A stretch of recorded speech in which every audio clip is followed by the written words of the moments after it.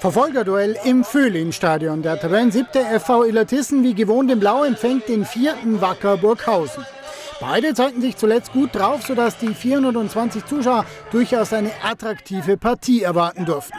Und der Auftakt auch äußerst vielversprechend. Die Hauser mit aggressivem Pressing eroberten noch früh die Bälle und kamen durch Janik Lessing auch zu einem ersten Abschluss. Wacker durchaus beeindruckt, versucht aber auch einen Weg in diese Partie zu finden, vorerst aber noch nicht wirklich gefährlich. Anders die Gastgeber. Zehnte Minute, wieder Glessing, umkurvt der Torwart Markus Schöller, aber der Winkel dann zu spitz, der Ball geht nur ans Außennetz. Doch eine Minute später war es weit. Vorstoß über rechts von Philipp Beuer und seine Hereingabe versenkt Kento Terranuma zu seinem zweiten Saisontor. Illertissen in der Anfangsphase das zielstrebigere Team. Danach verflachte die Partie, aber zusehends viel Mittelfeldgeplänkel bis zur 35. Minute. Da bietet sich den Gastgebern die Riesenchance aufs 2 zu 0. Tilalovic schlägt quer auf Terranuma, aber dessen Schuss wird im letzten Moment noch abgeblockt. Burghausens Coach Leo Haas wechselte in der 37. Minute bereits zweimal.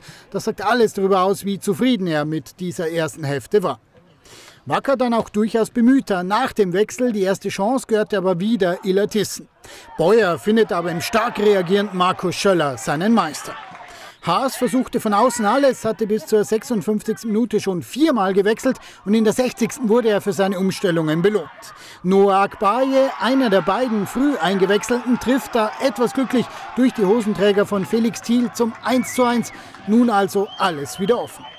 Danach ein Abziehbild der ersten Hälfte, beide bemüht, aber ohne Durchschlagskraft nach vorne. Bis zur 85. Minute, da gelingt André Leipold, ebenfalls eingewechselt, das 1 zu 2. Vorlage übrigens von Sami Amari, Sie erraten es, auch einer der Eingewechselten. Burghausen also nach dem ultraspäten Siegtreffer zuletzt in Hauptstadt, diesmal wieder mit einem späten und ziemlich glücklichen Punch ein sehr leidenschaftliches Spiel mit dem glücklicheren Ende für Burghausen, die hier äh, gezeigt haben, warum sie eine Spitzenmannschaft sind. Äh, meine Mannschaft da sehr gut dagegen gehalten hat, auch in der ersten Halbzeit verdient 1-0 führt und wir uns dann versäumt haben, das zweite Tor nachzulegen, dann wäre das Spiel auch in eine andere Richtung gegangen. Aber wenn, und hätte und aber wir müssen es uns selber zuschreiben, dass wir den Gegner wieder stark gemacht haben. Wir haben so gut wie gar nichts äh, zustande gebracht in der ersten Halbzeit. Ähm, so erst ähm, im Laufe der zweiten Halbzeit, mit der zweiten Halbzeit wurde es, wurde es besser. Und ja, insgesamt nehmen wir jetzt den Sieg heute natürlich mit. Ja, ähm, ich glaube, man darf auch mal ein Spiel gewinnen, wenn du auch mal die schlechtere Mannschaft bist. Das war halt der Fall. Und dementsprechend sind wir glücklich für den Sieg, aber ich glaube, dass wir definitiv besser spielen können die nächsten Wochen.